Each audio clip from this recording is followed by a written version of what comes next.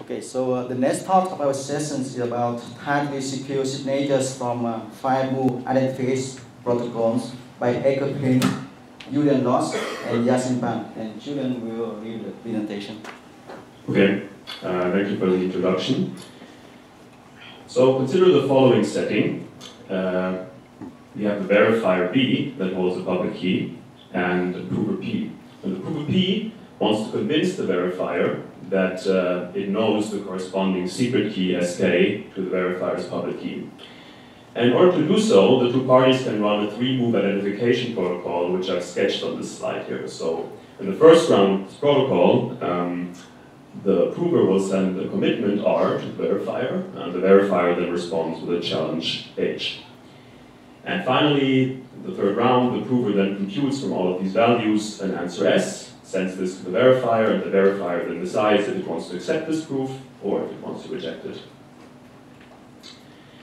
Um, so such three-move protocols are very well understood and have been considered many times in the literature, and uh, this is mainly due to a very important transform called the Fiat-Shamir transform. So the Fiat-Shamir transform takes any identification scheme with three rounds and generically transforms it into a signature scheme which is secure in the random oracle model. And uh, I've listed some notable examples here. So probably the most well-known signature scheme that can be derived from this matter is the Schnorr signature scheme. But we also have the Katz-Wang signature scheme, Yukusvatel, and Okamoto, and there are also other signature schemes. So before I uh, continue, I would like to give some motivation for what I'm going to present in the rest of my talk. And uh, the motivation for our work is mainly tight security. So what is tight security? Um, in order to explain this, maybe let's look at how we would prove security in general for a cryptographic scheme. So suppose we have some cryptographic scheme uh, on the left-hand side, and we have some algorithm A that breaks the security of this cryptographic scheme.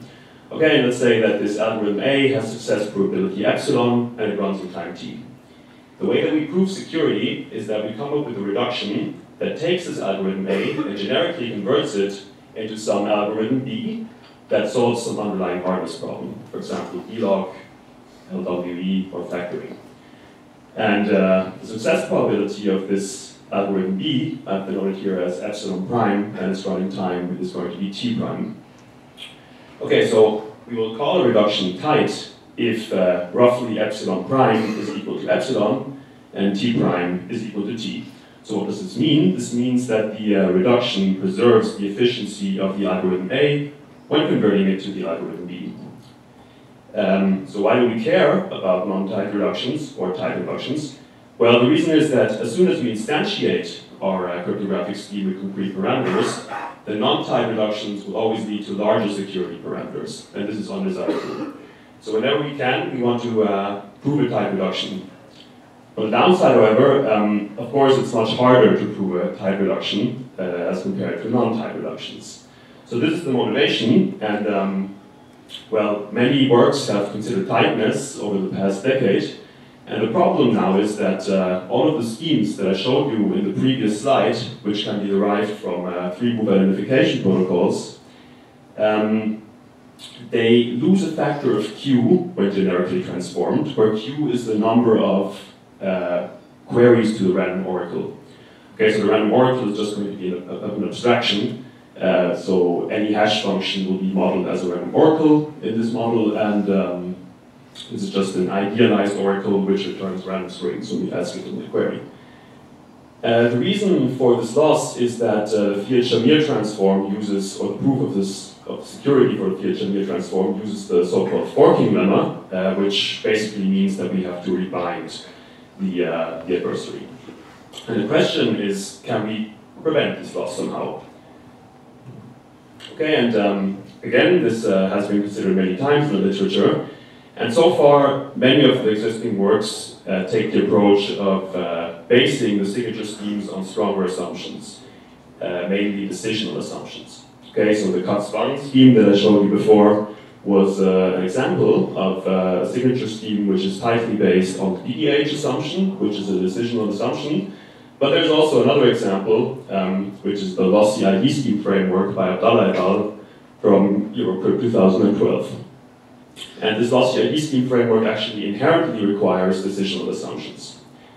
Okay, so and uh, our new idea now is to obtain tightly secure signature schemes from search assumptions, not from decisional assumptions, by looking at uh, five move schemes uh, rather than three move schemes. So that's going to be the approach. Okay, so now let's look at uh, generic five move identification scheme. Okay, so it's basically the same thing as in the three move case, but um, here we uh, additionally have two rounds. Okay, so there's going to be an additional round of uh, commitments and an additional round of challenges, which precede the three rounds that we originally had. Okay, and now I've just uh, denoted here this uh, first round commitment as R1, the first round challenge as H1, the second round commitment is R2, and the second round challenge is H2.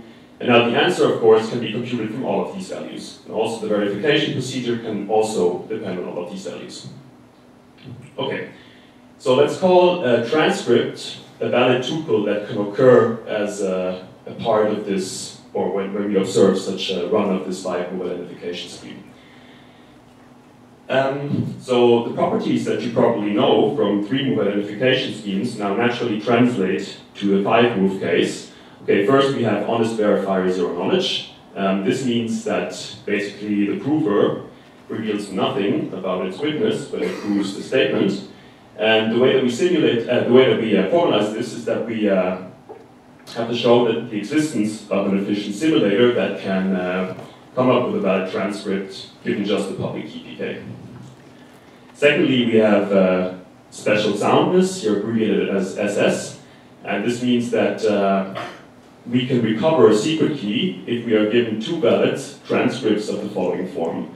So the transcript should have the first round commitments in common, but from then they should diverge. And if we are given two such uh, valid transcripts of this form, then we can recover a secret key. Okay, so in this work, we will give a modular framework for Fiat-Shamir-based uh, identification schemes and uh, signature schemes. And um, we will present three instantiations of a transform from different hardness assumptions. And uh, most importantly, all of these instantiations have tight security reductions to search assumptions, which is a new thing.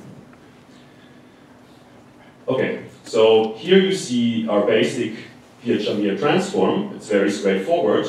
Okay, to sign a message M, the signer will pick um, R1, its first round commitment from the commitment set, and now it will, using these, uh, this hash function H1, which is modeled as a random oracle, it will compute the value H1.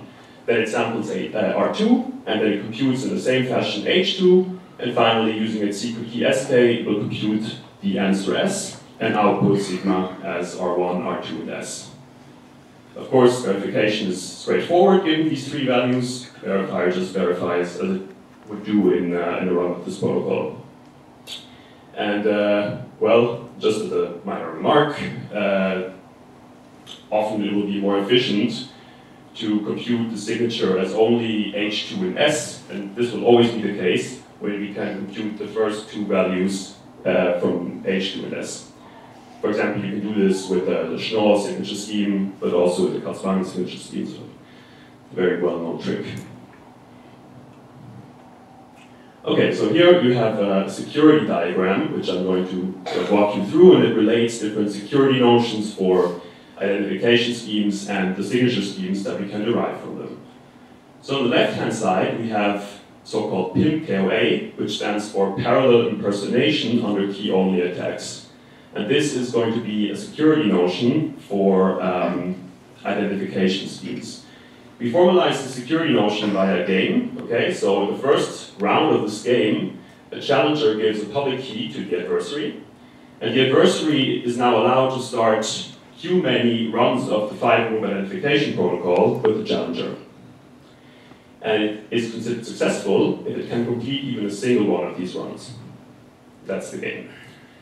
So now our framework gives a transformation which uh, doesn't incur any security loss from a signature, uh, from an identification scheme which satisfies the security notion to a signature scheme derived by the Fiat-Shamir transform which satisfies the following security notion called unforgeability under key-only attacks. So is the notion that you have in the middle. Okay, so this notion now is a notion for security schemes, and this notion, the game for security is formalized as follows. Again, the uh, adversary is given the public key, and now it may uh, ask as many random oracle queries as it likes to the random oracles. And finally, um, it is considered successful if it can produce a forgery on any message of its choice. Okay, and now for the last security notion, our, uh, our framework presents a transformation which uses the honest verifier zero knowledge property of the five round uh, identification scheme to come up with uh, the rightmost notion of unforgeability on the chosen message attacks, which is sort of the standard notion in the literature. And in this scheme, uh, this uh, security game, the, uh, the adversary additionally is given uh, a signature oracle. And the signature oracle can be used to get uh, arbitrary signatures of its choice. And here, the adversary is going to be considered successful if it can produce a forgery on any of the messages that it has not queried, because otherwise it would be trivial to produce a message, uh, to produce a valid signature. Okay, so this is how these three security notions are related. And in fact, um, all of these modular steps also apply to the three-move case, as was previously shown by uh, Kiltz, Masny, and Pan at Crypto 2016. Okay? And so if you pay attention, then you will realize that I have yet to explain to you where actually for the three-move case, we uh, incur this loss uh, in the security reductions because on this slide everything is tight, so there's no security loss here. So where does it come from? To see this, we have to actually move one step further to the left and consider a further security notion which is even weaker. So this security notion is going to be the non-parallel version of PIM KOA attacks. Okay, so what does it mean, non-parallel? It means that now the adversary is given a public key and it is allowed to start only a single one of the protocol with the challenger. And it must complete this one. So it's a weaker security notion than the parallel version. And Masny Pan show that for the three-move case, there is an unavoidable loss between these two notions. Okay, and even that we did not uh, prove so in our work, we uh, strongly assume that this also holds for the five-move case. Okay, now the problem is that uh, for many three-move identification schemes, it's actually not possible to directly prove the uh, PIM-KOA security directly in a tight fashion. So we have to take this detour, which incurs a loss of Q. This is the case for many three-round identification schemes, in particular, for example, for Schnorr. We can even prove that it's not possible to uh, to show a tight reduction to PIM KOA security. And this means that Schnorr, for example, cannot be proven tightly secure. So how does the five-move structure help here? The five-move structure helps because it allows us more flexibility to embed a challenge in the structure of the protocol. And uh, therefore, it's easier to prove uh, PIM security tightly in, the, in a direct fashion. Okay, and uh, as an example, to show you some intuition why this is true, uh, on the next slide I'm now going to present a simplified version of the Chevallier-Mames scheme from Crypto 2005, as expressed as a um, five-move event.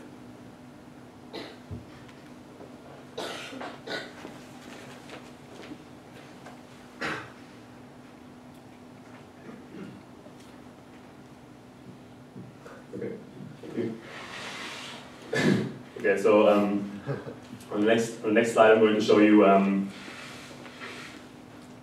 the simplified version of the Chevallier-Mames scheme, as I was saying, uh, which is a signature scheme from Crypto 2005, and um, I'm going to express the signature scheme as a five-move identification scheme. So the nice thing about the signature scheme is that it has a tight security reduction to the CDH assumption. Okay, so um, I sketched this five-move identification scheme here let G be a cyclic group of prime order with generator G. Um, let's just briefly go through the protocol. In the first round, we pick some randomness R, then we compute U as G to the R, send U to the verifier. And now the interesting thing is here that the verifier now picks um, a challenge H as a group element from the group. Okay, it randomly samples a group element, and it sends this H back to the prover. Okay, now the prover will compute B as H to the R, and z as h to the x, and send these two values back to the verifier. Verifier now responds with some challenge C, and S is computed as Cx plus R, set back, and the verifier does these two checks, which I've sketched here.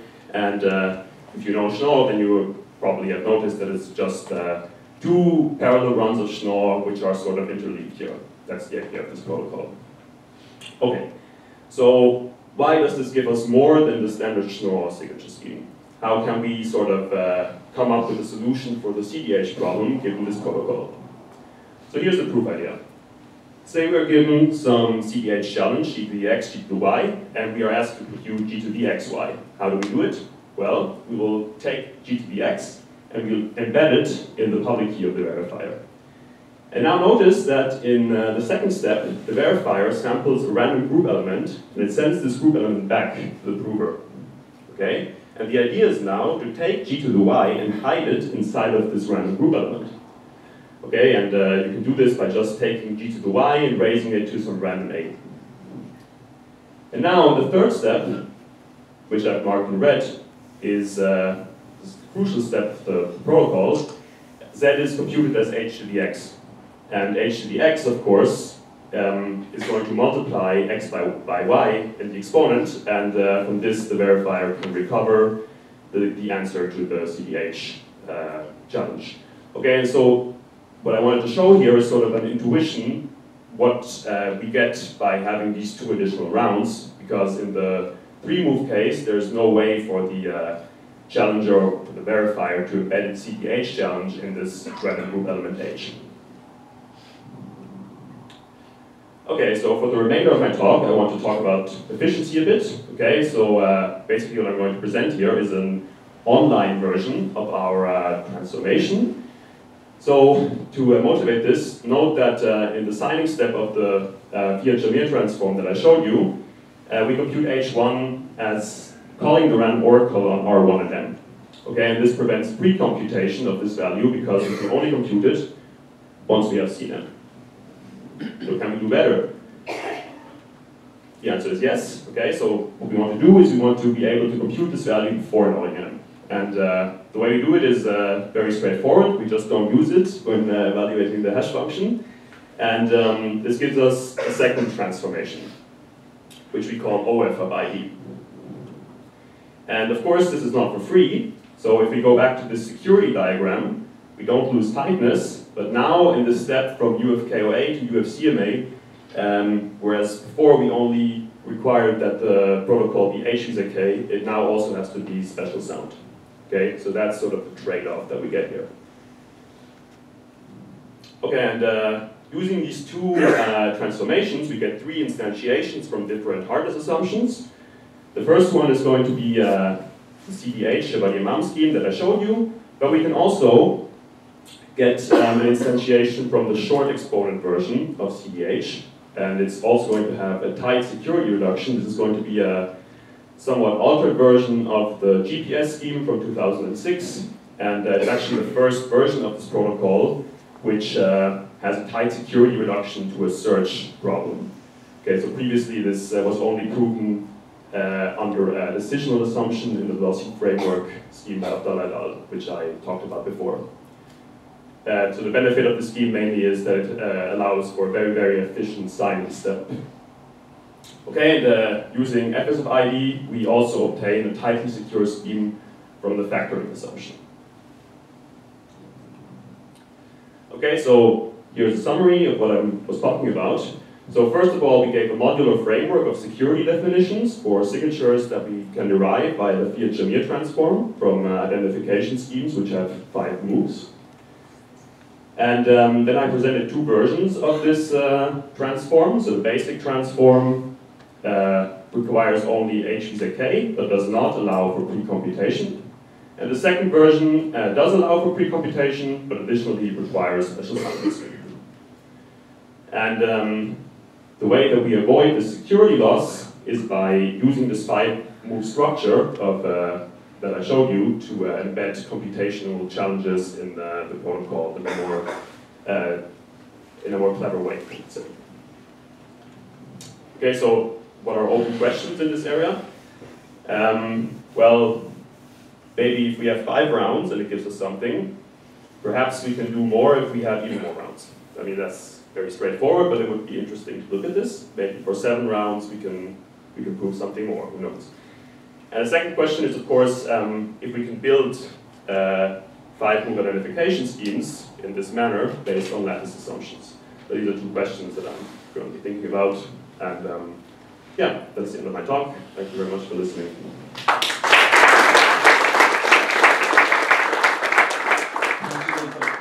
Uh, we have plenty of time for questions.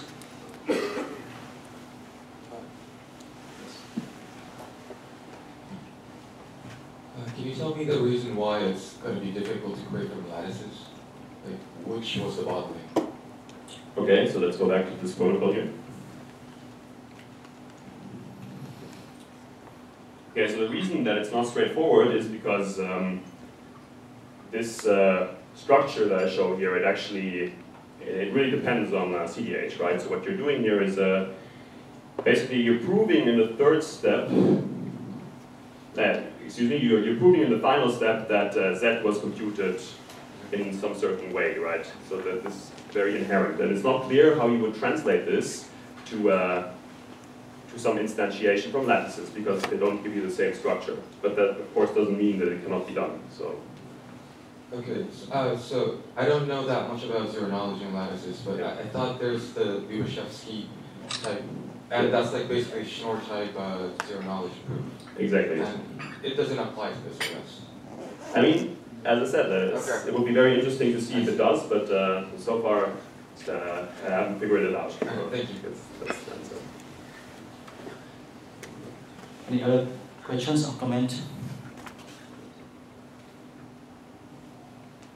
Please. Okay, so there's no, so let's thank speaker again.